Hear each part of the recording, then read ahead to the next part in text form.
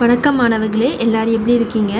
இப்போ நம்ம இந்த வீடியோவில் என்ன பார்க்க போகிறோன்னா ஆறாம் வகுப்பு தமிழ் பாடத்தில் செகண்ட் டேமில் இயல் மூன்றில் இருக்க புக் பேக் ஓனர்ஸ்க்கான ஆன்சர்ஸ் தான் பார்க்க போகிறோம் இதில் நமக்கு என்ன கொடுத்துருக்காங்கன்னா இயல் மூன்றில் ஃபஸ்ட்டு நானிலம் படித்தேன் கவிதை கொடுத்துருக்காங்க. இப்போ இதில் இருக்க ஒன் வேர்ட்ஸ்க்கான ஆன்சர்ஸ் பார்க்கலாம். இதில் வந்து எத்தனாம் பக்கத்தில் அதுக்கான ஒன் வேர்ட்ஸ் கொடுத்துருக்காங்கன்னா ஐம்பத்தி ரெண்டாம் பக்கம் கொடுத்துருக்காங்க. புக்கில் ஐம்பத்தி ரெண்டாம் பக்கம் எடுத்துக்கோங்க. இப்போ நம்ம ஆன்சர்ஸ் பார்க்கலாம்.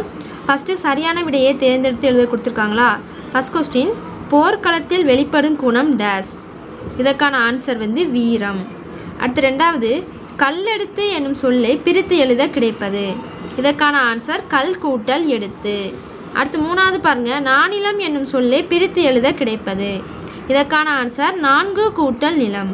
அடுத்து நாலாவது நாடு கூட்டல் என்ற என்பதனை சேர்த்தெழுத கிடைக்கும் சொல். இதற்கான ஆன்சர் வந்து நாடென்ற அடுத்து அஞ்சாவது களம் கூட்டல் ஏரி என்பதனை சேர்த்தெழுத கிடைக்கும் சொல். இதற்கான ஆன்சர் களம் ஏரி நெக்ஸ்ட் வந்து சொற்றொடரில் அமைத்து எழுத கொடுத்துருக்காங்க. இது வந்து நீங்கள் எதுனா சொற்சொல்ல எடுத்து இது பண்ணிக்கலாம். நமது மாநிலம் தமிழ்நாடுன்னு எழுதிக்கோங்க மாநிலத்துக்கு. கடல் வந்து எனக்கு கடலில் விளையாட பிடிக்கும் எழுதிக்கலாம். பண்டங்கள் தமிழ தமிழகத்திலேருந்து பிற மாநிலங்களுக்கு பண்டங்கள் ஏற்றுமதி செய்யப்படுகின்றன. இதே மாதிரி இந்த இதை லைனை வச்சு நீங்கள் தான் சொற்றொடர் அமைச்சு எழுதணும்.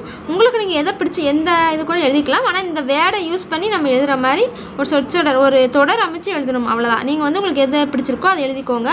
மாநிலத்துக்கு தமிழ்நாடு வந்து ஓர் மாநிலம் ஆகும் அப்படி கூட எழுதிக்கலாம். கடல் பாருங்கள் கடல் வந்து கடல் மிகப்பெரியது. அவ்வளோதான் பண்டங்கள் தமிழகத்திலேருந்து பண்டங்கள் ஏற்றுமதி செய்யப்படுகின்றன. அவ்வளோதான் நெக்ஸ்ட் நம்ம குருவினா பார்க்கலாம். ஃபஸ்ட்டு பாருங்கள் நான்கு நிலங்கள் என்பன யாவையும் கொடுத்துருக்காங்களா? இதற்கான ஆன்சர் பாருங்கள் சைடில் எழுதியிருக்கேன் பாருங்கள் அதை பார்த்து எழுதிக்கோங்க. குறிஞ்சி முல்லை மருதம் நெய்தல். குறிஞ்சி முல்லை மருதம் நெய்தல்.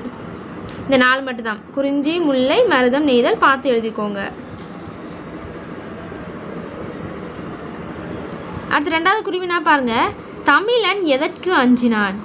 இதற்கான ஆன்சரும் சைடில் எழுதியிருக்கேன் பாருங்க. ஃபஸ்ட் எழுதிக்கோங்க தமிழன் சான்றோர்கள் அஞ்சும் தீமைகளை செய்ய அஞ்சினான். அவ்வளோதான் பாருங்கள் பாருங்க உங்களுக்கு ஜூம் பண்ணி காமிக்கேன். தமிழன் வந்து சான்றோர்கள் அஞ்சும் தீமைகளை செய்ய அஞ்சினான். தமிழன் சான்றோர்கள் அஞ்சும் தீமைகளை செய்ய அஞ்சினான். அவ்வளோதான் நெக்ஸ்ட் மூணாவது கொஸ்டின் பாருங்கள் தமிழன் எதற்காக கண்டங்களை சுற்றி வந்தான்? இதற்கான ஆன்சர் ஐம்பத்தி ஓராம் பக்கம் இருக்குது ஐம்பத்தி ஓராம் பக்கத்தில் நமக்கு பாடலின் பொருள் சொல்லி கொடுத்துருக்காங்களா? அதில் செகண்ட் பேரா பாருங்கள் செகண்ட் பேராவில் மூணாவது லைன் மூணாவது லைன் பாருங்கள் செகண்ட் பேராவில் மூணாவது லைனில் ஏலம் சொல்லி ஸ்டார்ட் ஆகுதா? பாருங்கள் ச செகண்ட் செகண்ட் பேரால் மூணாவது லைனில் லாஸ்ட்டாக பாருங்கள் ஏலம் சொல்லி ஸ்டார்ட் ஆகுதா? அதுலேருந்து குறிச்சிக்கோங்க.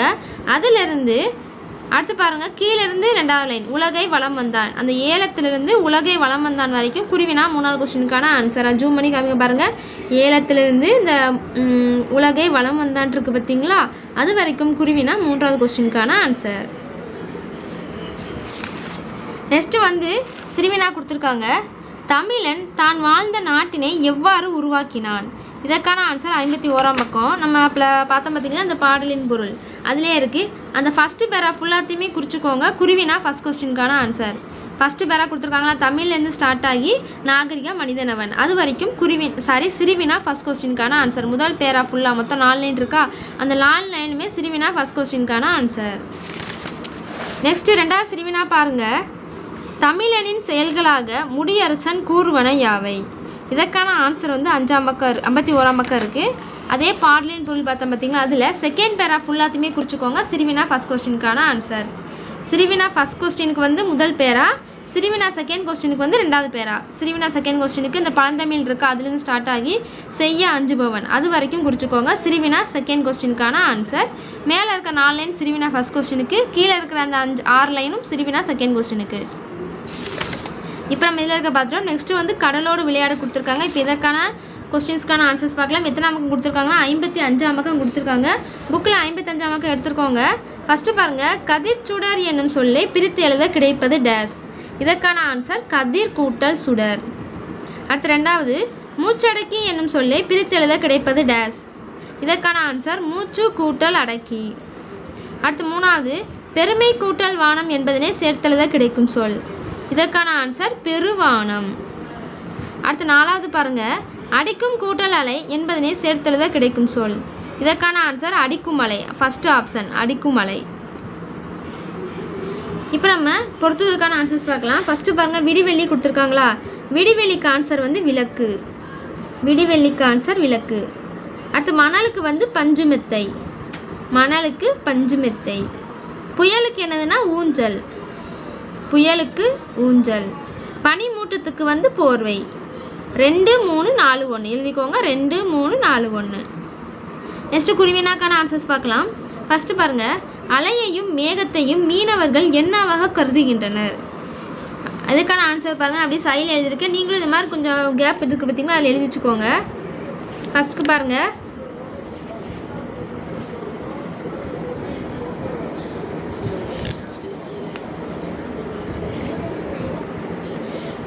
மீனவர்கள் அலையை தோழனாகவும் மேகத்தை குடையாகவும் கருதுகின்றனர். எழுதிக்கோங்க.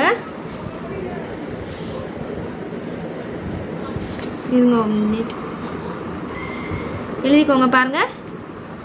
மீனவர்கள் அலையை தோழனாகவும் மேகத்தை குடையாகவும் கருதுகின்றனர். அதை அப்படியே பார்த்து சைடில் எழுதிக்கோங்க. மீனவர்கள் அலையை தோழனாகவும் மேகத்தை வந்து குடையாகவும் கருதுகின்றனர். எழுத்து புள்ளாட்டி வீடியோவை ஸ்டாப் பண்ணி பார்த்து எழுதிக்கோங்க. ரெண்டாவது கொஸ்டின் பார்க்கலாம். கடல் பாடலில் கண்ணாடியாகவும் தலைவனாகவும் குறிப்பிடப்படுவன யாவை? இதற்கான ஆன்சர் அப்படி சைடில் எழுதியிருக்கோம் பாருங்கள் இந்த ரெண்டாவது போட்டு கொடுத்துருக்கோம்னா அதான் ரெண்டாவது கொஸ்டினுக்கான ஆன்சர் கடல் பாட்டில் முழு நிலவு கண்ணாடியாகவும் பெருவானம் தலைவனாகவும் குறிப்பிடப்படுகின்றன. எழுதிக்கோங்க.